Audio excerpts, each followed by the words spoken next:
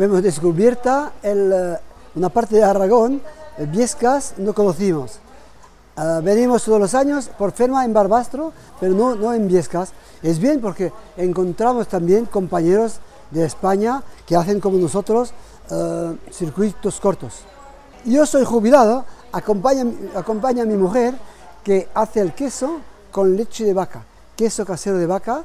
Hay dos clases, eh, pequeño que está muy prensado y más grande, no tan prensado, más viejo, pero eh, con la curación se queda adentro suero y aire y da un gusto diferente.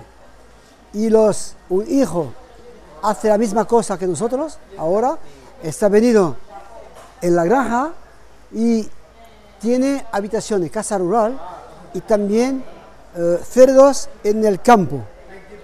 Y, y, con los cerdos, los cerdos hacemos plata combinados, cazulet, axoa, garbure y también charcut, charcuterías.